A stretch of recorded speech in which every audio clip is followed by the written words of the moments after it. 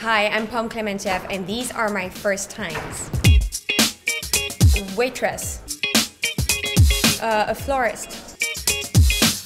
2046 uh, Wong It was a tampon commercial, I think. it's true.